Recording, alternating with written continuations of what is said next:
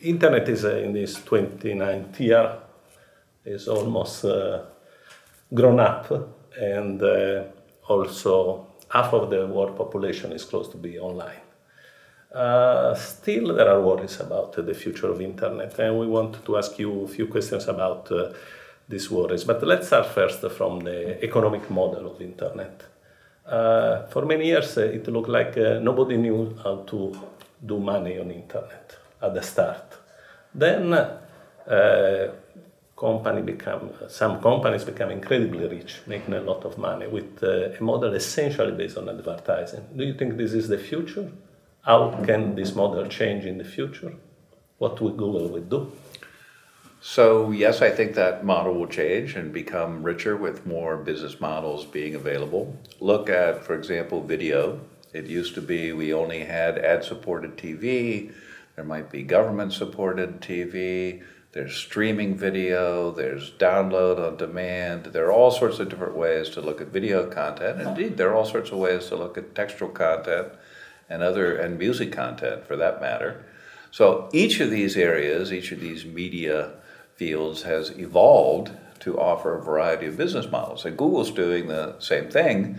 In the US, we offer YouTube Red, which is subscription service to ad-free YouTube that has uh, the all the content that's on the regular YouTube plus extra content that we've uh, developed. That's available in the US, New Zealand, Australia, and we hope it will soon be available in Europe. So there are new business model, but let's uh, talk also a little bit about the effect of internet on the old business model of other industries' business model. One that worries us uh, a lot is the uh, media industry. Mm, we have also here a Center for Media Pluralism and Media Freedom, and it's clear that uh, media publishers are suffering from the digital revolution at this moment, and it's not clear what is their new business model. And we know that also Google has some uh, new ideas and new projects for the relation with uh, this world. Mm-hmm. Well, just today, in fact, we announced a $300 million grant over the next three years directed at the uh, media industry to help them evolve and to use the internet, uh, the internet more effectively. But I think when we look at this historically, it's, uh, it's quite an interesting story Newspapers never made money from news. They made money from home and garden, from travel, from uh, arts, entertainment, because in all of those different sections you could show contextually relevant ads that contributed to the bottom line of uh, newspapers. What kind of ad could you show next to a story about an earthquake in Haiti?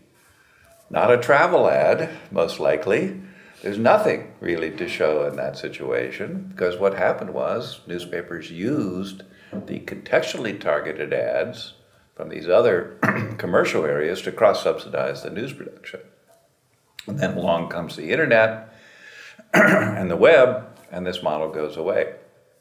So newspapers have to be much more uh, experimental about the kind of services they're offering than they were in the past. That old model will never come back.